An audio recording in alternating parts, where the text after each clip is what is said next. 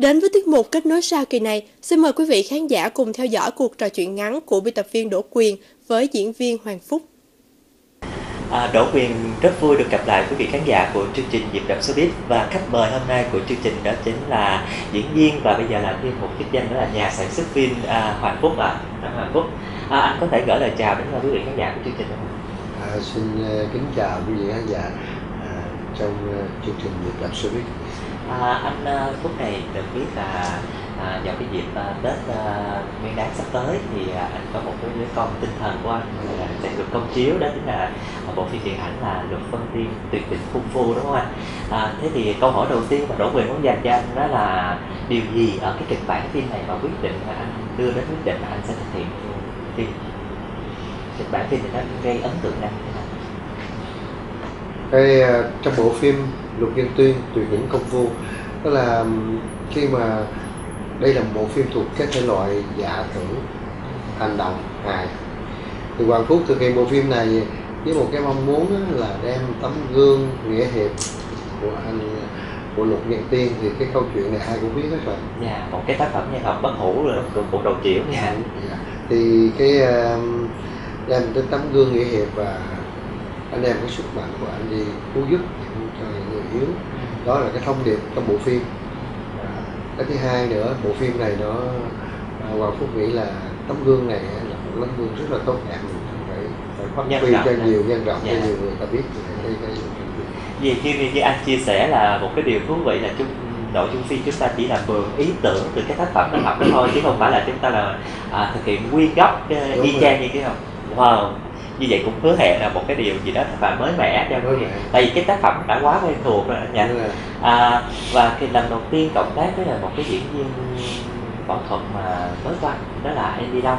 Thì uh, điều gì ở Andy Long khiến bạn có thể tin tưởng và giao một cái vai chính của bộ phim này thì thật sự Andy Long thì Hoàng Phúc đã được làm việc với em khoảng uh, vài năm trước trong một cái dự án phim hành động Việt Nam à, chuẩn bị làm và cuối cùng thì à, cái dự án đã chuẩn bị xong tập võ rất là nhiều ngày với nhau. Gần mấy tháng thì bộ phim nó, nó có trục trặc không thực hiện được. Nhưng là không có duyên. Nhưng lần này Hoàng Phúc à, đã đưa Annie Long từ Đức về Việt Nam để thực hiện cái bài diễn này. Thì cái nhìn nhận là em Annie Long này làm việc rất là nghiêm túc rất là hết lòng cho nhân vật và cái cái quan trọng là từ cái màu da từ cái gương mặt của em thì nó rất là phù hợp với cái vai lục đầu tiên. Tức là Việt Nam thì chính vì vậy trong phim này Hoàng Quốc đã đưa em về để thực hiện cái vai diễn này. Thì hy vọng khán giả dạ sẽ có một cái mới lạ. À, nghe cái tên phim đó là luật phân tiên tuyệt đỉnh cung phu. Thì cái vế đầu của tên phim này quá quen thuộc với mọi người. Rồi rất là tò mò về cái cái vế đầu của tên phim là tuyệt đỉnh cung phu vậy là phải chăng là anh sẽ chiêu đãi khán giả bằng những cái những cái màn tinh hoa võ thuật đúng không ạ? Thì nói sâu về cái việc này á thì Hoàng Phúc nghĩ là trong mắt của Hoàng Phúc á Lục Vân Tiên là tuyệt đỉnh công phu á. Là một người Việt Nam Lục Vân Tiên thì ai người Việt Nam cũng biết về cái, cái, cái, cái nhân vật này. nhân vật này. Yeah. ai cũng biết nó đầy lòng nghĩa hiệp. Rất là tốt đẹp nhưng đối với Hoàng Phúc á Hoàng Phúc nghĩ là tuyệt đỉnh công phu đây không phải là tuyệt đỉnh công phu ở cái những cái phần võ thuật đâu nhưng mà nó mình muốn tôn vinh lên một cái gì đó rất là tuyệt vời cái nhân cách sống cái nhân cách sống của nhân Yeah. vật Yeah. nó nằm trong cái tuyệt đỉnh chứ không phải là đỉnh công phu đây là đánh đấm này nhưng mà trong đó thì cũng phải là tôn vinh cái cái cái cái, những cái thế võ trong Bộ- và khi nhắc đến luật Vân Tiên á, thì người ta không thể nào không nhắc đến Kiều Nguyệt Nga. Thì không biết là với cái hình ảnh luật Vân Tiên anh xây dựng á, là một cái nhân vật và đang xen giữa hiện đại và và cái cậu khẩu trang đúng không? Thì bây giờ không biết là nhân vật Kiều Nguyệt Nga thì như thế nào ta? Là một cô gái mà có giống như trong nguyên tác là yếu điệu thục nữ mà à, gọi là rất là gọi là công dung không thì trong phim này Kiều Nguyệt Nga anh xây dựng cũng đa tính cách nó phù hợp với cái cái cuộc sống hiện nay. Mà nói tới nhân vật Kiều Việt Nga thì nó cũng ảnh hưởng tới cả một cái cấu trúc của câu chuyện. Cho nên thì nói là một lần nữa là anh muốn giấu biết cái Kiều Việt Nga là ai. À. và nó chắc chắn là nó sẽ khác với cái nguyên tác đúng không đúng rồi. Dạ. Rất khác. Dạ. Cái tính cách của nó, nó là phụ nữ ngày nay hơn là phụ nữ của ngày nay hơn dạ. Nó có cái gì mạnh mẽ của người phụ nữ ngày nay? Dạ. À, trong cái quá trình mà mình thực hiện à, bộ phim này thì anh thì cái kỷ niệm mà sâu sắc nhất và là à, ngay gần cái, cái thời điểm mà chúng ta chuẩn bị công chiếu rồi thì anh à, có thể kể lại cho quý vị khán giả chương trình được à, biết không? một kỷ niệm mà anh sâu sắc nhất trong trong bộ trình? phim ừ, trong bộ phim này thì rất là nhiều kỷ niệm đến dạ. À, rất là nhiều kỷ niệm. Nhưng ở đây là một bộ phim uh, hài và hành động. Cái tức là hành động ra hành động hài ra hài. Nhưng mà trong cái hành động nó có cái hài. Tức là trong những cái đòn thế đánh với nhau thì nó hiện hữu một cái cái, cái, cái hài trong đó. Nhưng mà nó mang nhiều màu sắc nó mạnh mẽ nó hài hước. Và nó không không đi lạc đề là nó vẫn giữ được một cái nguyên bản là cái chất cái chất ờ, mộc mạc của luật vô tiên cái điều đó là cái quan trọng. Cái thông điệp mình luôn gửi tới cho khán giả một cái thông điệp về về lẽ phải sự chính nghĩa. Chứ trong phim không võ thuật này không có mang tính chất bạo lực.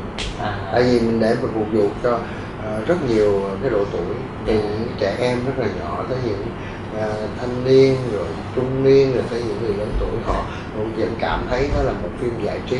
Dạ. Chỉ là một phim giải trí. Dạ. đơn thuần nhưng mà nó có gợi gắm một chút gì. thông điệp thông điệp Dạ. và cái kỷ niệm trong phim này là mình vui nhất á, là anh em không có bị ờ, chấn thương. Phim cái võ hành động bây giờ nó không phải là quấn giả thì nó không đẹp mà phải quấn da chạm thật. Như vậy là tất cả cái những gì là đều phải thể hiện thật hết đó đúng Thật không không có caster không có caster đâu. À, à, tại vì phải đánh thật đó, nhưng mà nó không có những cái cái việc thì những cái việc mà chấn thương nặng hay là gì đó, đó là những cái cái điều mà ấn tượng để lại. May mắn.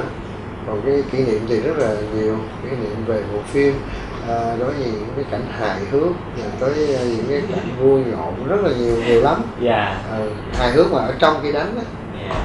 Nó có những cái hài hước như à, đánh rồi đội tóc giả rồi xúc tóc rồi thế này thế khác rồi nó làm nó dựng lại một cái behind the rất là nhiều về cái, việc kỷ niệm thì nhiều lắm Và ngay bây giờ thì trước khi chúng ta trò chuyện tiếp ờ, tục với lại à, anh Hoàng Phúc thì xin mời quý vị khán giả chúng ta cùng xem một vài à, cảnh behind the scene của bộ phim nhé.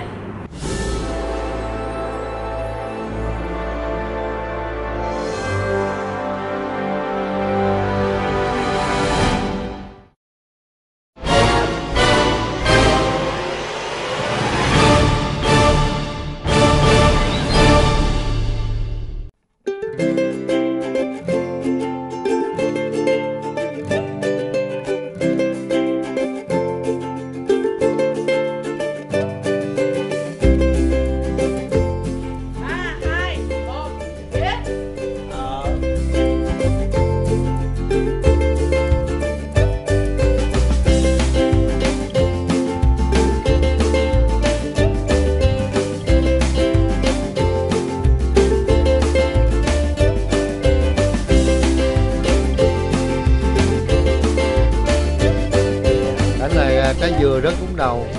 Andy cảnh này là rất là hài. Hiếu lâm Andy đấm vô ờ, cây dừa bằng tất cả cái sức mạnh của mình và cuối cùng cây dừa trả thù rất ngay đầu Andy cảnh này rất là khó ở cái chỗ làm sao cái dừa cúng đầu.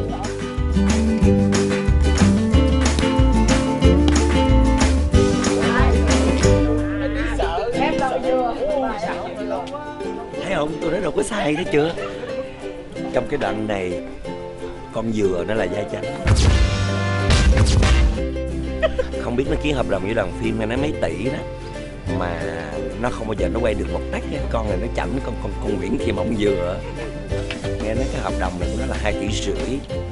Đó, mà nó có thề với ba má nó là nó quay một tách là nó bị sao á đây mười mấy tách nó mấy triệu, con dừa là cái con chảnh nhất cái đoàn làm phim, đó. Không không có ngôi sao nào mà sánh lại cái con quỷ dừa rồi đâu.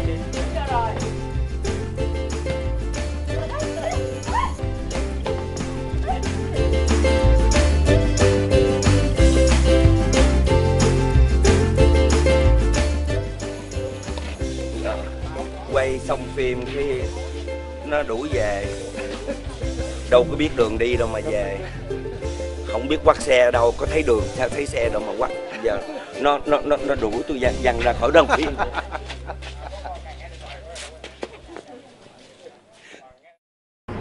wow hấp dẫn quá. Phúc ơi em xem vậy muốn ra rạp ngay bây giờ em xem phim đó. Đó nè. Nhưng mà giờ anh đã có một cái cặp gọi là trai tài gái sắc là lục công ty với kiều việt nga rồi. Thì liệu chăng có cái cái nào mà nóng nóng cảnh nào nóng nóng giữa hai nhân vật này không? Ừ, cảnh lạnh không không có nóng ồ cảnh lạnh không á không có nóng À, anh không cho hai nhân vật nắm tay hôn nhau một cái nào á Trời, Ờ, có nắm tay. Ờ, sắp sửa hôn. Sắp sửa hôn hả thà chứ không À. là một cái bộ ờ, phim mà có cổ có kim mà ừ, ừ. hồi xưa mà cổ mà người ta chỉ nắm tay là quá rồi à bây giờ xen lẫn thêm chút hiện tại là cho cho ví dụ như hai cái môi cách nhau khoảng mấy cm thôi chứ không có chạm thôi chứ nhau không thể chạm nhau được. Dạ. chạm nhau là nguy hiểm lắm. Nó vào và giữ và cái tuyến của lục Dạ. tiền nga vẫn giữ được một cái cái công dung ngôn hạnh và cái người đàn ông kia cũng rất là là theo kiểu xưa đó.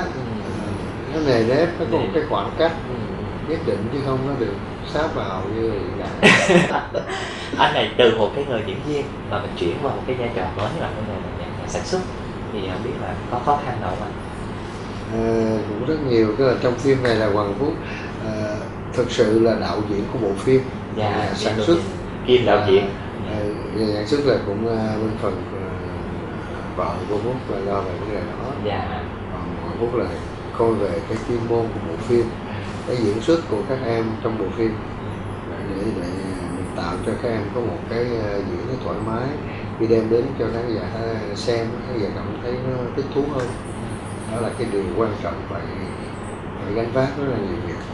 Khi mình, mình thực hiện một cái người tổ chức cho một bộ phim thì nó rất là cực hơn so với một người chỉ thực hiện một cái vai diễn mình thôi. Ờ, hỏi thật là hiện điểm hiện tại là phim gần ra rạp anh có lo không? thì dĩ nhiên à, mình cũng rất là lo một Dạ. bộ phim đưa đến khán giả một cái món ăn tinh thần nhưng mà cái điều quan trọng nhất á, thì Hoàng Phúc vẫn nghĩ là sau gần 30 năm để tham gia trong cái lĩnh vực diễn xuất bây giờ mình chuyển qua cái lĩnh vực đạo diễn thì hy vọng là khán giả sẽ dành những cái tình cảm ưu ái nhất đối với Hoàng Phúc ủng hộ cái phim đầu tiên Hoàng Phúc.